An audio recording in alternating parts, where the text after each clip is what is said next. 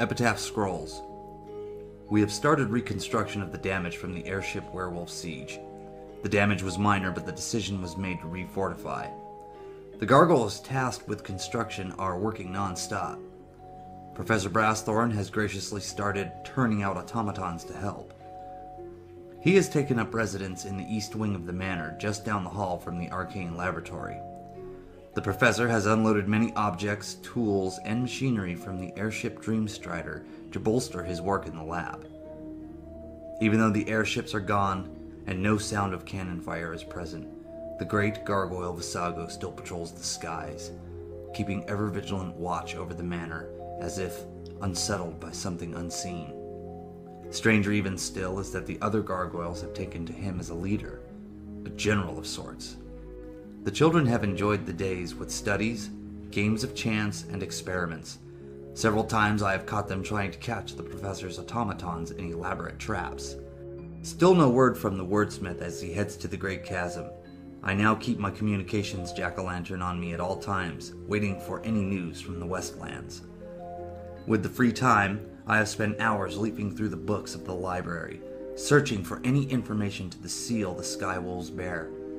The only account of it was just a brief entry in a book on archaic symbology that had seen time and an apparent fire. Deciding on a needed reprieve, I invited the professor to join me in the parlor.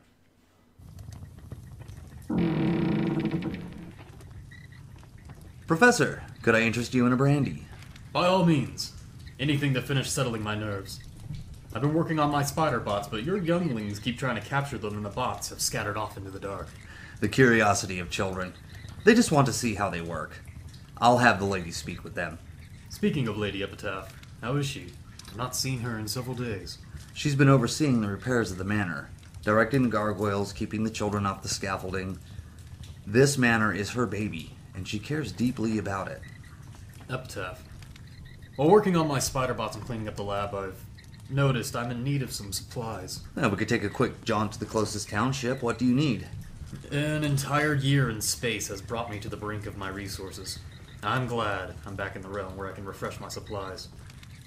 But some of the things I'm unable to fabricate in the ship, like industrial pistons and machining gauges, I need to find a place that sells some bottles and also some basic laboratory equipment. I'm not sure the village would carry much of that. Bottles and vials, sure, but gauges and pistons may require a trip elsewhere. Good evening, gentlemen. Please excuse my interruption. My lady, how wonderful of you to join us. Indeed. We've been missing your company. How go the repairs? Nearly finished, and that's what I have come to discuss. My lord, I've been reorganizing the inventory of my cauldron parlor, and I'm in need of supplies. Why, the wolf will look, my lady. The professor needs supplies as well. We can handle both your needs in one trip. Well, my lord, the supplies I need can't be bought at any of the towns or villages nearby. Um, this will require a trip to Oh no, don't say it. the night bazaar. The Night Bazaar. Haven't been there since the last time I resided here in the realm. It brings back some lovely memories. It's not one of my favorite places in the realm. It'd be quite a long trip by bio horse. Professor, any chance we could procure the services of the Dreamstrider? As you wish. My airship is always at the disposal of Epitaph Manor. I'll go inform the younglings of our departure. My gargoyle, Dankmar, will watch over them. Last I saw him, he was sitting on the throne pretending to command the golems around. Very good. We'll disembark shortly then.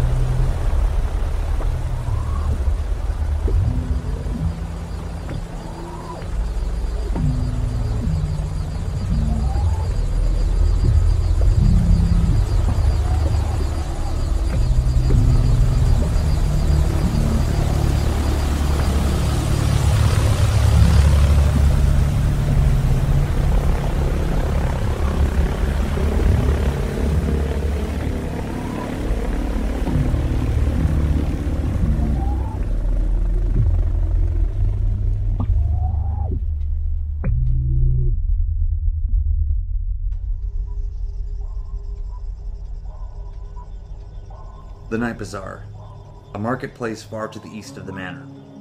We first had to traverse a forest, the Forest of Aeons.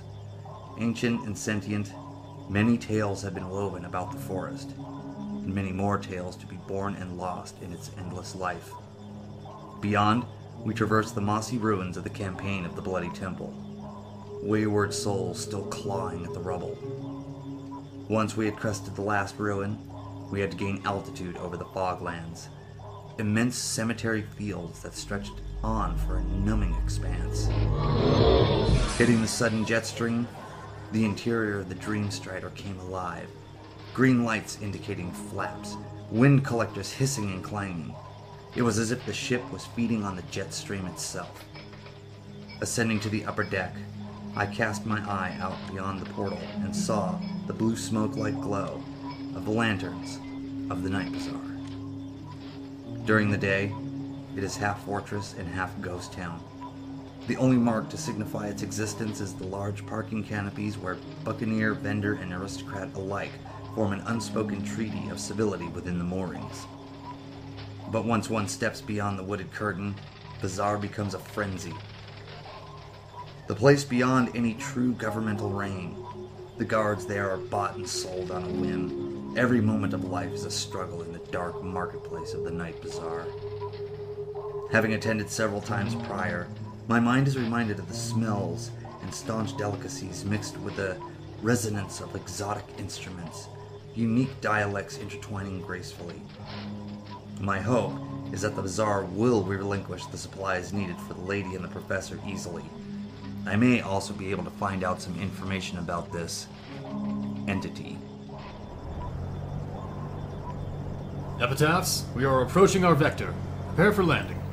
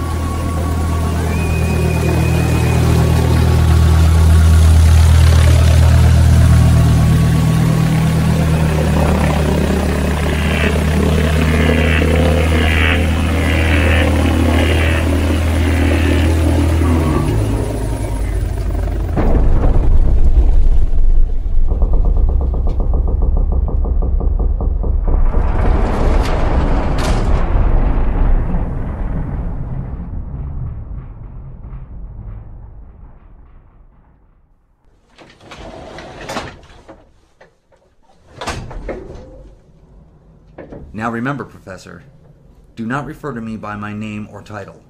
We find ourselves in a place that, big surprise, I'm not too well liked. It's best to keep a low profile all around. Good idea. Call me Tony. Ah, the names we used on Earth. Brilliant. Yes, call me Peter. And call me Christine. Now, gentlemen, I leave you to your business while I attend mine. Milady, you shouldn't venture alone in a place like this. We will be better able to find what we need with some more speed if we separate. Besides, the places I must go do not welcome Lord Epitaph. But Let her go. She's right on both accounts. Meet back at the Green Lion by the third stroke of the clock.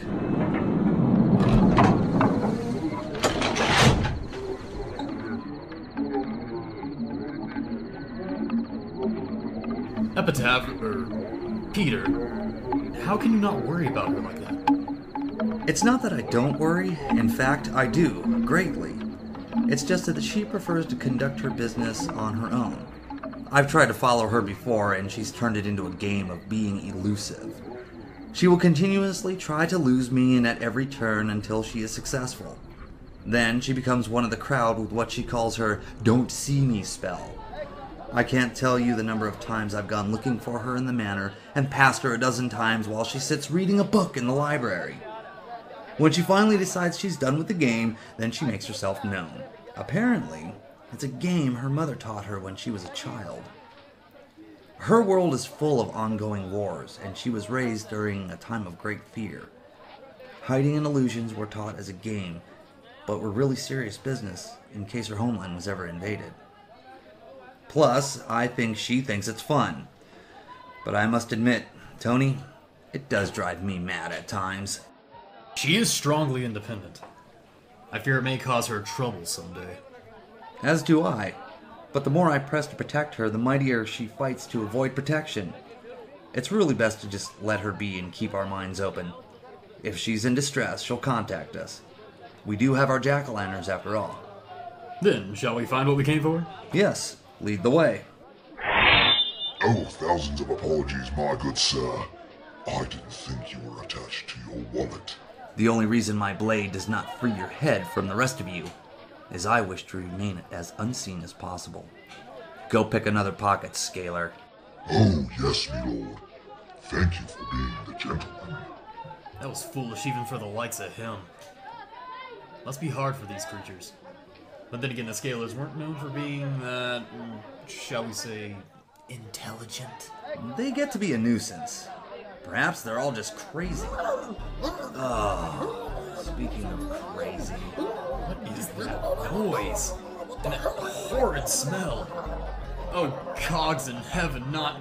Ladies and gentlemen, step up and see the latest wondrous marvel that is sure to amaze even the biggest skeptic in the realm. See the greatest golem that ever come from the incredible sweatshops of Grublum's Golems. This year's newest model of golem, the Gilded Bird. What did he call it? Sounds like the gilded turd. I can see we have a few skeptics in the crowd. Step up, gentlemen, and witness the marvel that is the Gilded Earth. Crafted with the latest technology this realm has to offer. Fortified with the divine metals of the Westlands. Why, this can withstand even a ballistic glass cannon shot. I'll take that bet.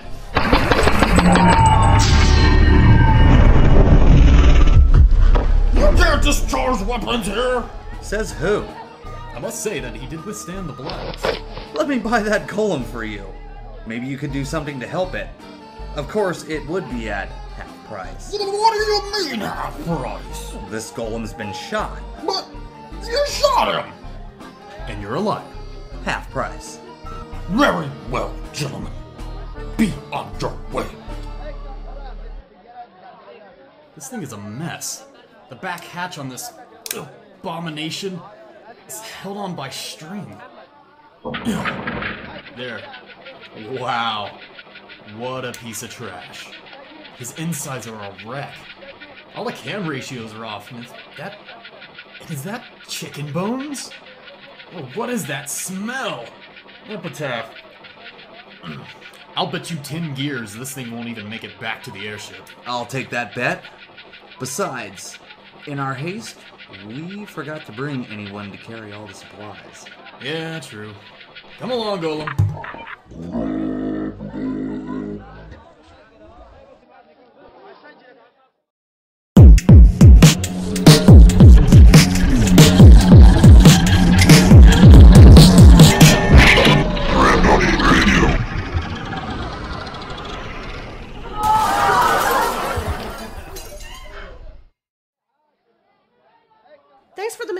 Matilda. I'll be sure to stop by the next time we're here.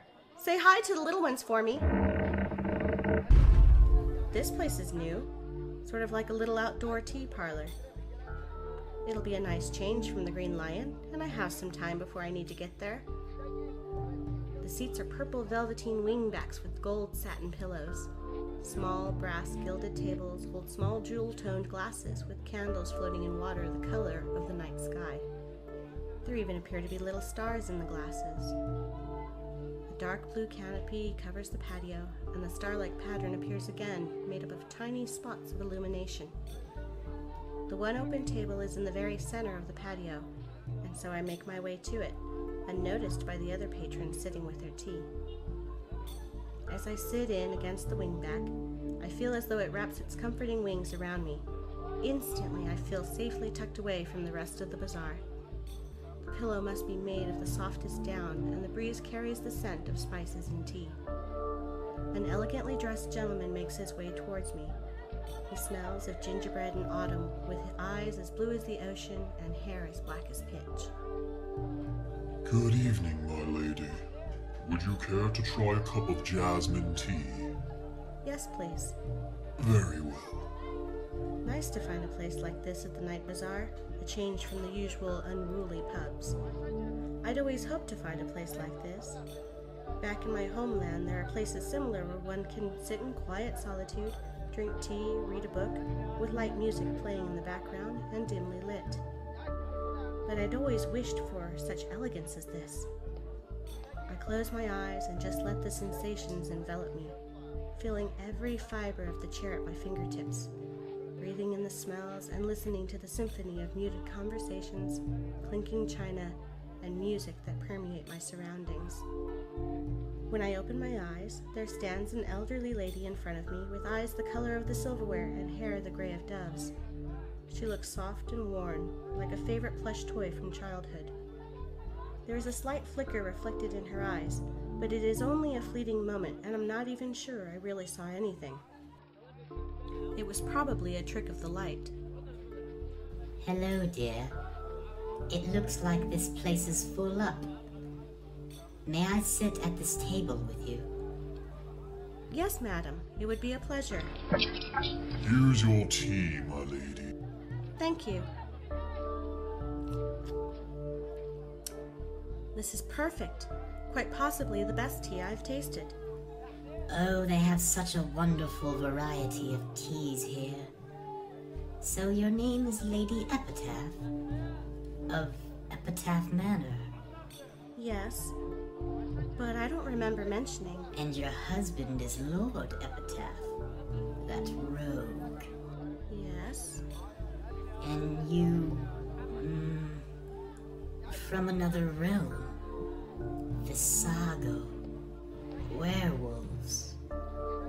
Portals. Mm-hmm. Yes, but Just relax. Listen to my voice and the beautiful music and let your mind go. no. I. Attended the university. Ah, it is you. I thought I recognized the spiritual signature. Thought you could hide forever, didn't you? can't. Close. You can't stop it, you know. You will lose everything if you try. The entity will have your portal. There is nothing you, your lord, or Professor Brassthorn can do about it. It remembers you Who? From before. Long before. And this time it is prepared. This time it is your turn to lose everything. Not even being the Mago Electi will save you. The realm doesn't have Jasmine. Stop! Get out of my head! Who are you? Broke the spell already. Your power has grown. Not that it will save you.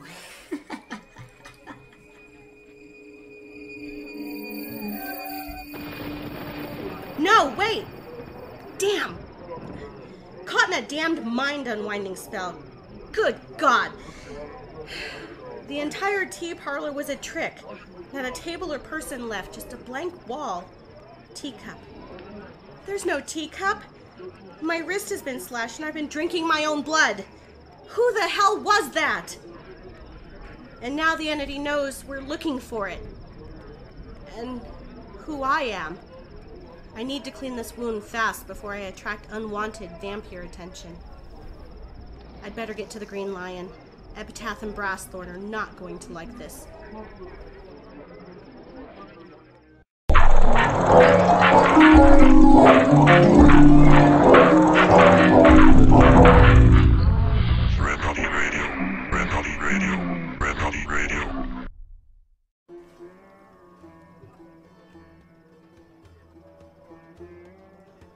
I need to go and see the Euclidean woman and pick up some metallurgy and chemistry supplies. Chemistry? Uh, alchemy. Ah. How do you know it's a woman or a man? Well, you see, you can tell there's this little thing that. Never mind. I have to do a transaction with her. I'll be only a minute. I'm amazed you speak the fish language of the Euclideans. It's a very similar dialect to the Cyclopeans back in the Steamlands.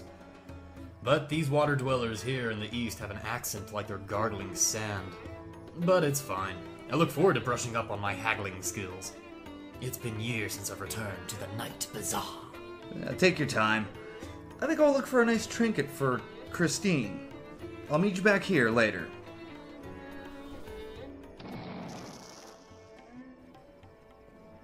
This place has changed. The alleyways feel more cluttered than I remember. I'm losing my bearings. What do you want, Wraith? Who owns this world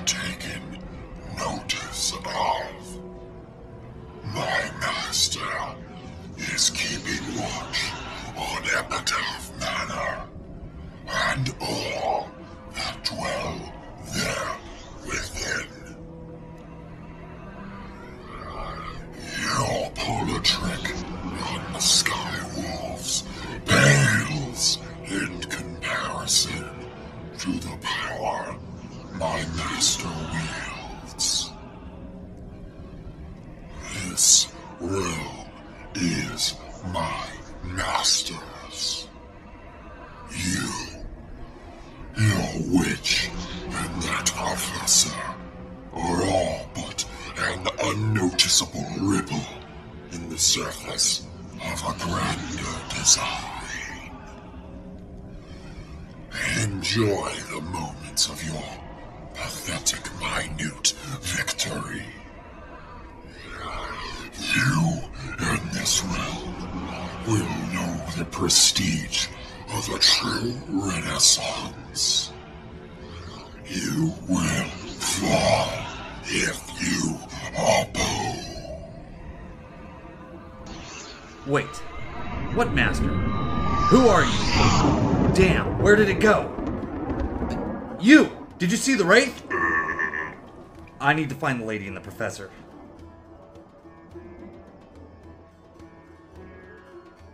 Ah, there he is.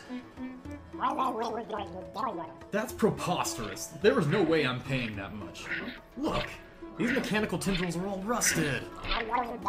My dear Euclidean woman, I'm afraid you just don't comprehend. Look, these seashells I've been paying you with for the past decade are very rare. They're from another planet, understand? A star. I can't get any more for a very long time. I'll pay you five. Sound good? Uh, pleasure doing business with you. Now, remember, those are incredibly endangered. Take very good care of them. You've been eating them? Tony! Hey there. Ready to hit it? Uh, yeah. Let's burn.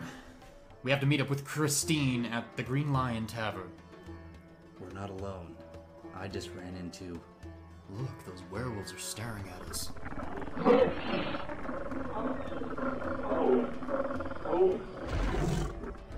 They were snarling at the Threnody seal on our arms. They smell the sky wolves on us. I'm sure they already know what happened. I must say that the word of the Sky Wolves moved quickly. I'm surprised it made it this far so fast. As well as I. The Forest of Aeons has a way of knowing what its children have done. Even the outcasts. Yes, indeed. Uh, you were mentioning you ran into someone. Not someone, something. We need to find Christine, and I will tell you both when we get to the Green Lion. Since then, I wasn't able to find a gift for my love. Well, look at this shop here. What shop is this? Look at that sign. It looks like it's been pieced together from several other signs. And what language is that? It looks like a bad form of Scaler? Is that last piece backwards? Upside down? Let's go in and take a look. After you, Pr. I mean, Tony. Go away. We close. I mean, come in. Look around. What? This place is a mess. Hey, is that a fish head on the table? No, that lunch. What? That antique. The eyes are still blinking. That make cost extra. Hey, look. She's got a broom standing in the corner. That ancient witch's broom. It's got a dustpan under it. Oh no, that ancient witch's dustpan. Look at that vase. It has a huge crack on the back of it. It looks like they just dug it up out of the sand and turned the good side facing forward. Oh no, that seal of authenticity. Seal of authenticity. Yes, that mean very old. Hey, hey, hey, I got a shrunken head. Oh, the children would love playing with that. With shrunken head, you get swollen foot. Swollen foot? Yes, you not know how to shrink head? You shrink head and rest go to foot. Of course. Psst. Look at the gnome hats lining across the shelf. Gnomes coming to store. We set trap. Trap full. See? Oh! oh you want fresh gnome hat? Is that blood on that hat? Oh no, that make it waterproof. Hey, I got an idea. Let's buy the gnome hat and put it on the golem. I had to stab him a few more times, but I got the. Oh. It's you two. The pickpocket. Just buy the hat and let's go. How much for the hat? Two million. Two million? I mean, gnome hat free. You go now. Store close. I hate you. You're my favorite customer. Don't forget swollen foot. I don't want the swollen foot. No, you take. What am I going to do with a swollen foot? Take foot. Fine.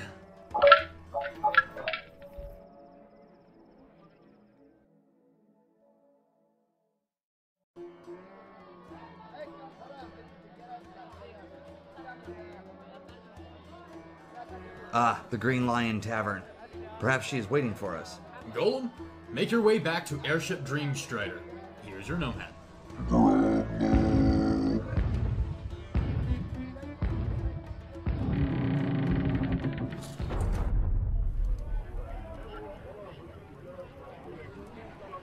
I don't see the lady yet. I haven't been here for a while. We'll sit there. Strange things are transpiring here tonight, and I don't want to be caught off guard. Good evening, gentlemen. What happened to your face? What happened to your wrist? You're bleeding. I got caught in a mind spell. I'm fine, but what I thought was tea I was drinking was uh, really my own blood. Whoever it was knew our names and spoke of an entity. I encountered a wraith in the alley that spoke of a new god and master of the realm. This same entity, I presume? What kind of entity could have a power that could enslave an entire realm? I don't know. Maybe we can get some answers here. Is that who I think it is? Well, I haven't seen either of you for some time. Do you all know each other? I've known. The name is Jade Serafin now. Hmm, I've known Jade Serafin since my old nights as a blood runner. You always knew just the right ones to bring. I do miss the special ones you would handpick for me. I wasn't aware that you knew Epitaph. The rogue, or should I say Lord now. Jade and I campaigned together a few times. I recall the campaign of the Demon's Noose as my very favorite. So you were a blood runner? You failed to mention this.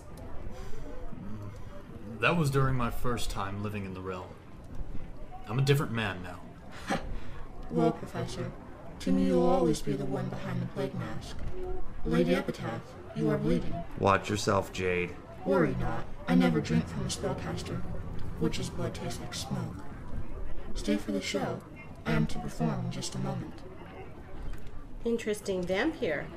What is she doing performing here? Last time I saw her, she was lurking at one of my regular blood dens. But she wasn't performing, she was more like freelancing. That is what she was doing in our band as well.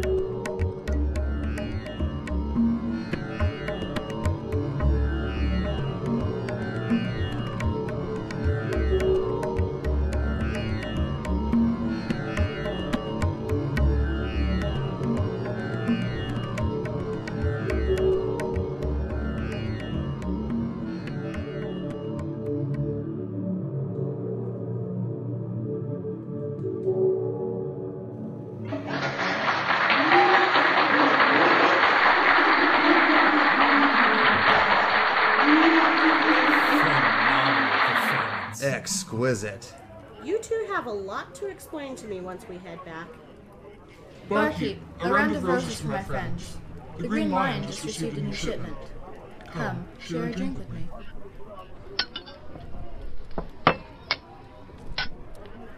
Ah, thank you. A toast. To old friends in the new darkness. Salty. Jade, we need some information. It will cost you. Of course. We are being watched by something. Something which threatens the entire realm. It has the power to destroy doors of light and has enslaved an entire fleet of airship werewolves. Dogs are meant to be trained. Spoken like a true vampire. We need to know whether the vampire city of Catril knows anything concerning the seal we bear. That seal. Jade. Catril has exiled me. All intel gained from within the tower walls have been from defectors who are already diablerized. But what I do know is that the word of your events with those wretched werewolves has been making the rounds. The manor's dark reputation remains intact. Dark? Coming from a vampire, I shall take that as a deep compliment. As you should. My superiors have taken an interest in Epitaph Manor and cast an eye upon it. But no vampire dares to come near the manor from now. You are safe in that regard. For what I know, the Prince of Catril wishes no war at this time with you.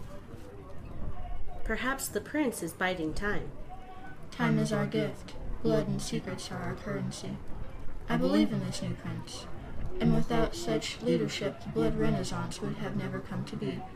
Now we enjoy a prosperity of free blood trade, and the days of the human stables are at an end. Do you know anything about this seal?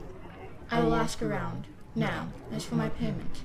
Lord, Epitaph, I wish to drink a taste of your blood. Not gonna happen, and you know it. Some secrets don't have to be told, not when they can be tasted. Oh, very well. Then I wish to taste the professor's blood. Well. Time to go, gentlemen. Hey, look! A gnome! I just barely escaped that damn Scaler woman's trap. Hey, are you the jergoffs who own that golem walking outside? He's wearing my hat. Toss the gnome! Run! Till next time, Jade! Crazy bastards!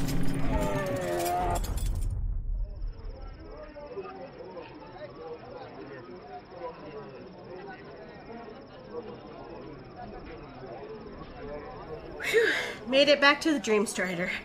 Hey, look, the golem's coming. Still keeping your word on that bet? We'll see. It has to cross the cargo lift.